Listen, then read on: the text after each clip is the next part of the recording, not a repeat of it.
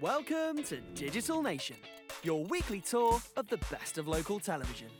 We bring you the stories you don't normally see, from the balmy Worthing Birdmen to Bristol's historical heroes brought back to life.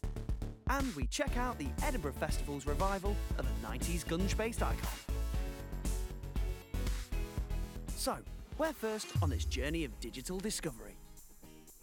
We begin at Made in Tyne and Wear, where we discover exactly which shade of grey is the new black. Good news, this is a hot new trend in hair colour that means no more worrying about those little grey hairs.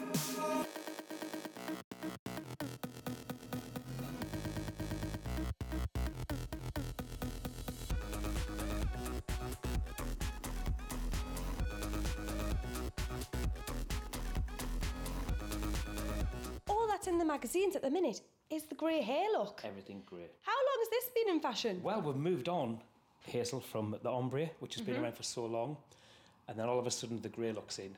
Girls are coming in wanting the grey hair from Fifty Shades of Grey, from light grey to dark grey. Zayn from One Direction goes grey, and all of a sudden every Everyone guy and his dog it. wants to come in and go grey. It's the hottest trend at the moment. Everything's about grey hair. It works in with the fashion that's in for the autumn winter, which is it's a softer colour on the he- head, and then the, the darker colours through with the clothes. Now, how long did it take? Does it matter if your hair's dark beforehand or light beforehand? Well, you know, we can work from dark hair to get a grey. Obviously, it's a longer process, but if you've got lighter hair, it's a lot easier because what you're doing is you're just then adding a tone. For a pre-lightened hair, um, it's much easier. We add in the grey tone. If you're darker, we've got to pre-lighten first and then put the grey tone through. But it's definitely the hottest trend. And Johnny, how do you, do you feel about going grey one morning? Oh, I love it. yeah. Do you? yeah, yeah, definitely. Uh, Were you when, not a bit frightened? not at all. When Neville said to me about going grey, I was 100% on board. Were you? Yeah, always keeping up with the trends. So when you when you walk down the street, is everyone like that guy is cool? Yeah. I don't know. Now to STV Glasgow to meet Dr. Jim Hunter, Director of Music at the Kelvingrove Museum. He shows us the engine and motor of the amazing organ on which he plays his daily recitals. If you want culture and Red Sox, come to Glasgow. Well, here we're standing in Kelvingrove Art Gallery, one of the most famous art galleries in the world. And behind us is one of the most famous organs in the world, the Kelvingrove organ, built by T.C. Lewis in 1901. I started playing the piano when I was age four, and I started playing the organ in a village church, which was water pumped. So I've been at it, uh, well, many years. First of all, it's got three keyboards. Now, all the keyboards do is give you a different selection of what's called stops. Organs are no good as decorative objects, even in galleries. They've got to be played. The important thing is it's bringing the organ alive and it's bringing the museum alive. This is the main engine room, if you like, of the organ. And here we have the motor powering the main unit of the organ, nearly 3,000 stops. People, when they think of organ music, they think one thing, church. But we are not a church organ. We are a concert organ. We play all sorts of music. We are also the only place in the world where we have video cameras showing the action of the organ, showing the action of the player at the keyboard, and importantly, showing his feet. If you want to hear a gun being fired, you go to Edinburgh. If you want culture, come to Glasgow. Now we take a trip to latest TV. And by the looks of it, there are a few people tripping over themselves to get in the record books in an attempt to become the official international birdman of Worthing. And remember, don't try this at home or the seaside. Well, it's been pandemonium here at Worthing Seafront today. People have flocked down to the pier for one of Sussex's most outrageous competitions, the Birdman.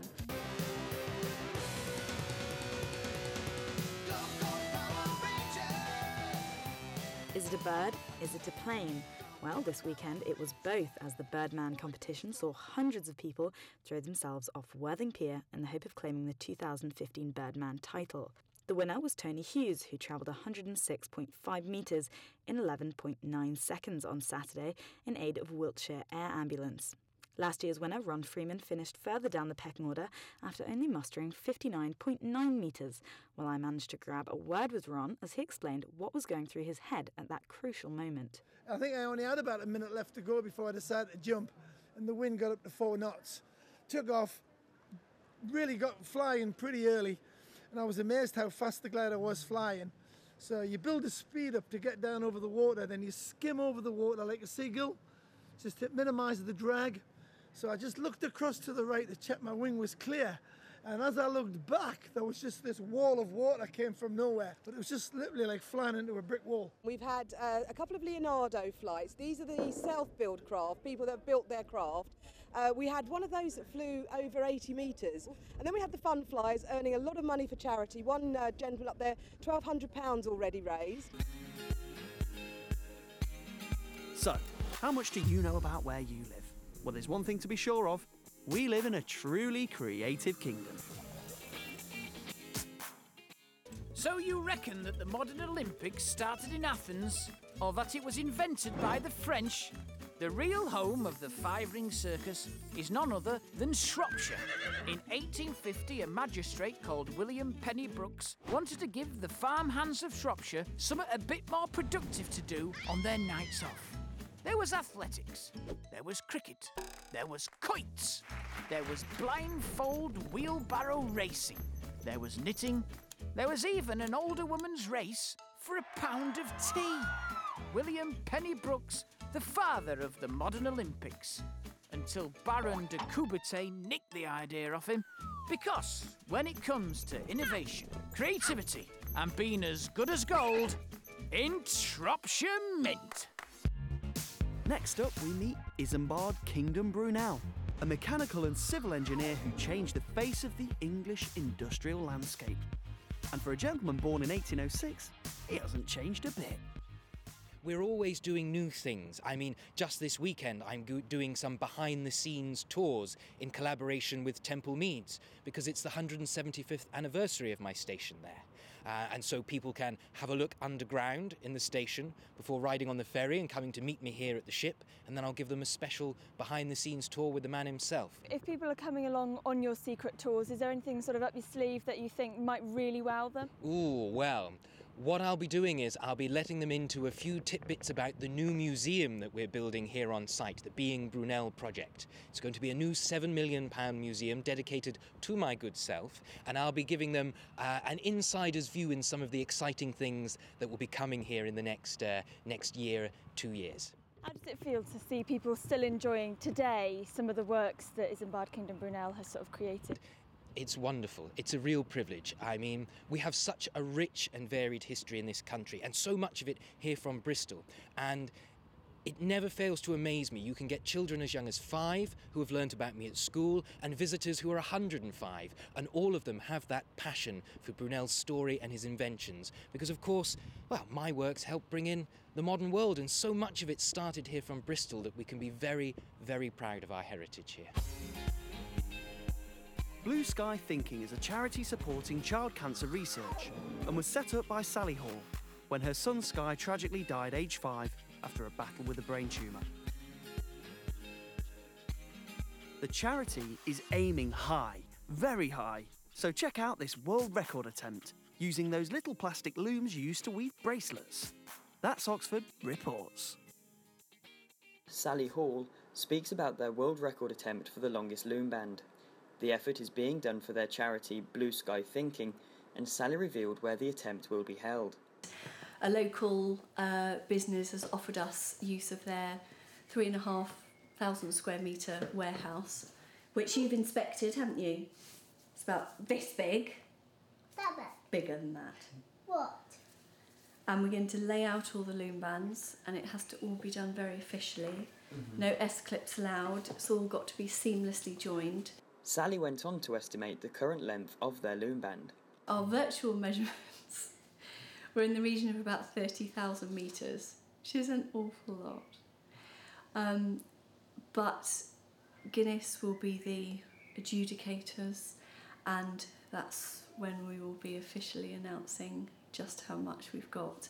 And do you know what the world record is now? What have you got to beat? Well, Guinness are, are obviously um, quite cagey about everything in terms of their record attempts being done all the time. I think the current uh, record for a team made elastic band is about 30,000. We're really hopeful that we will, um, you know, we will get the world record for not just for Sky, not just for Jessie, but there are children in um, the John Radcliffe Hospital and other hospitals who have all been contributing and all feel part of it. The work to get the world record is not over yet, as Sally explained her need for more volunteers. I have batches of looms like this that have got the little S clips in, and it's a laborious task. But if anybody wants to come and take a batch and sit in the evening, removing the S clips and joining the bands, and then presenting them to me in really user user friendly bobbins for our little factory setup, then uh, I don't think I think it's safe to say that uh, this world record attempt would not be possible without the help of everybody so far, and mm-hmm. probably we still need more help. So if you want to be part of breaking a world record for a fantastic cause, then contact the Blue Sky Thinking charity. Craig Pumfield, that's Oxford. That's it for part one.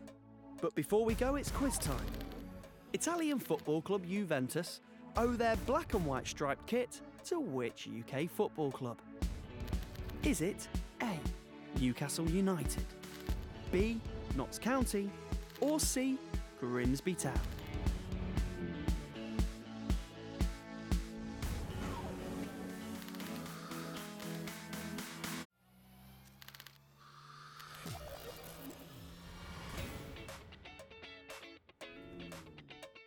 Welcome back to Digital Nation. Before the break, we asked you Italian football club Juventus owe their black and white striped kit to which UK football club? The answer is B. Notts County, who lent them a set of jerseys in 1890.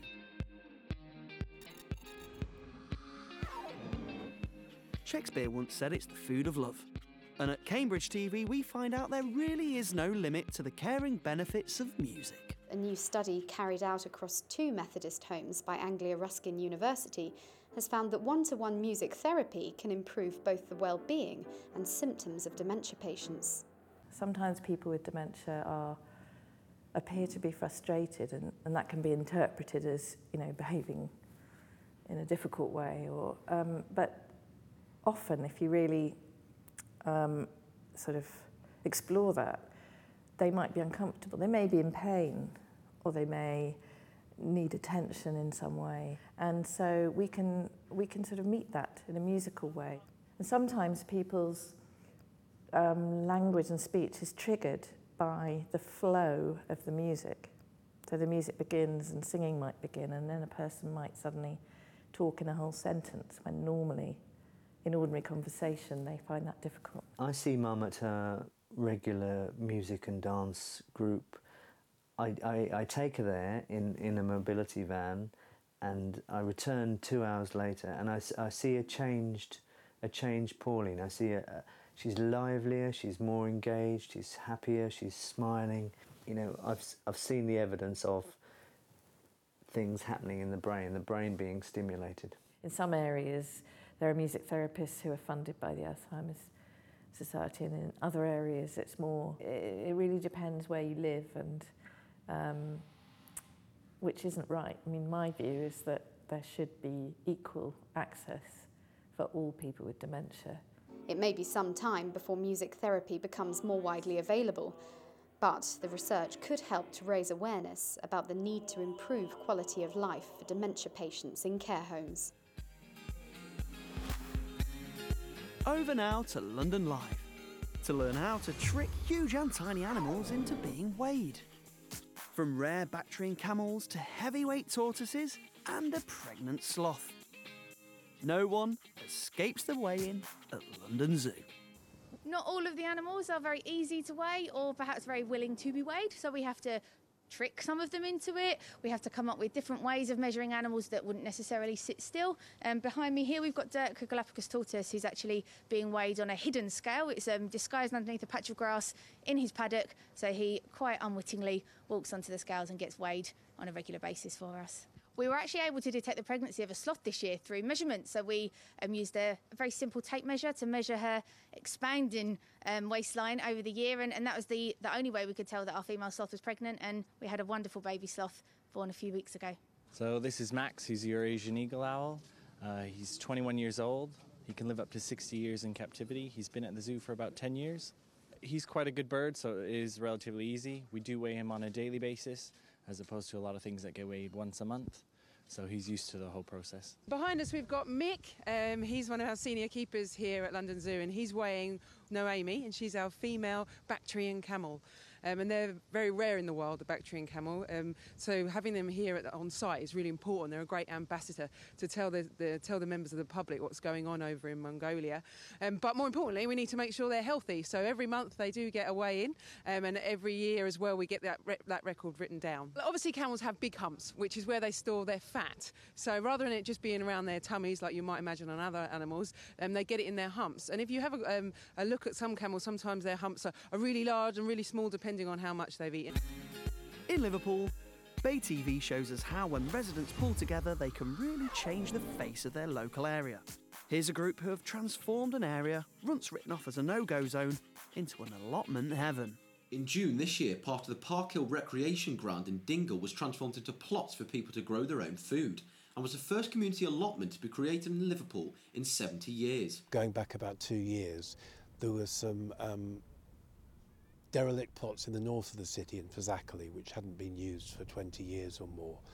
And that's, that land was identified as being um, a suitable site to build new schools.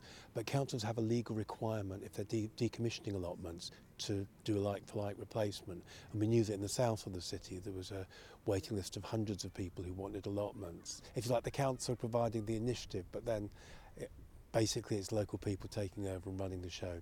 And that's how allotments should be. Despite the transformation in full swing with a plethora of fresh produce grown throughout the allotment, like any other start-up business, there were some real obstacles along the way.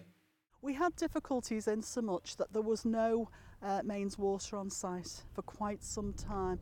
People were bringing their own water on site from supermarkets and various other places. I only live local, so I was bringing stuff from home, water in, in whatever containers, old milk cartons and everything else. Um, but nobody moaned.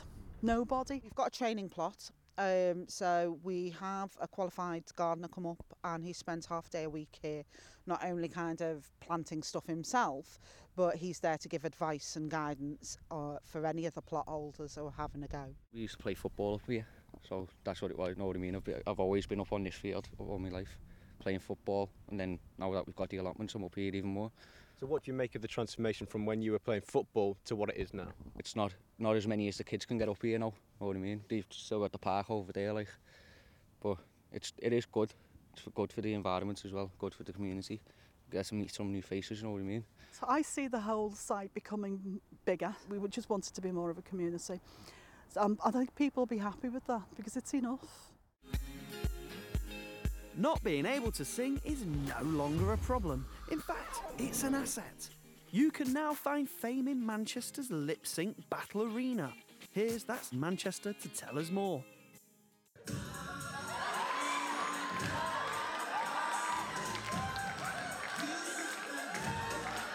It's basically, as it is, lip sync battle. So basically, what we have, we have 10, 12 contestants who actually lip sync one of their favourite songs. And then they act it out either as, you know, massively as they want or as little as they want, and then the audience go, yeah, we like that one.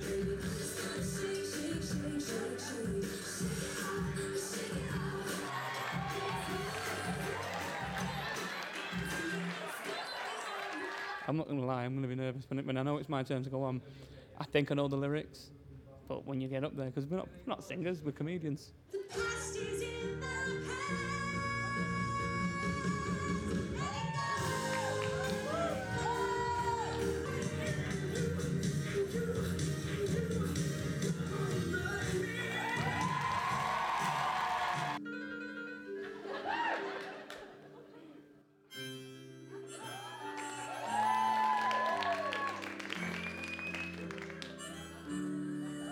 Night out with the lads, with the ladies, you know what I mean? All the girls want to come out for a laugh. You know, instead of singing in front of your mirror and your airbrush, get on stage, do it in front of an audience, but lip sync it and play it out. Now, some previously unseen footage from the Aberdare races aired for the first time on What's Occurring Cardiff. Motorcycle racing started in Aberdare in the early 1950s, with hair raising speeds reaching 49 miles per hour.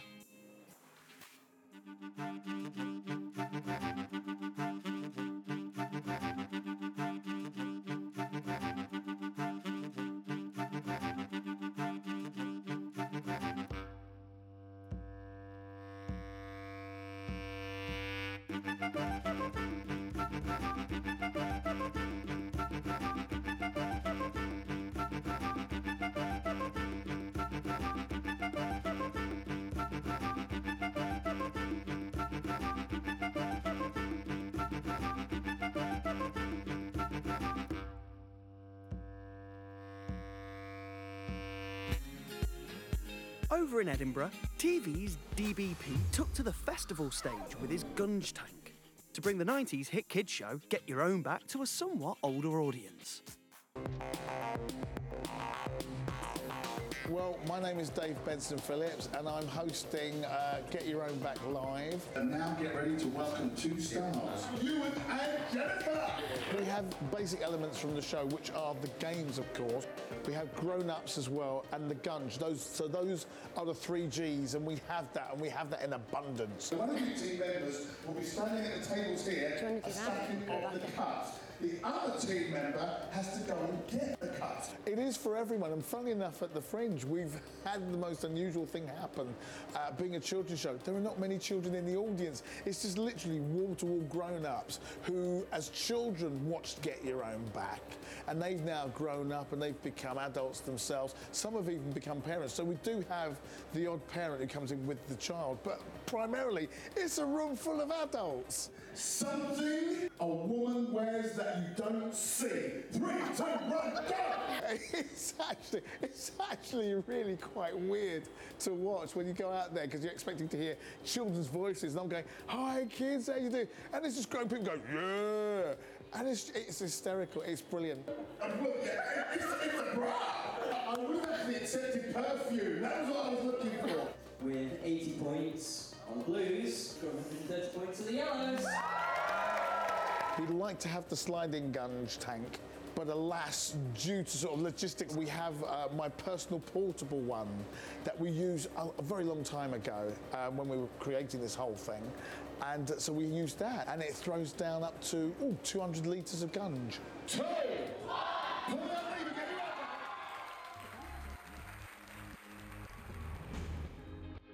And that concludes our roundup of the best of local telly from across the UK.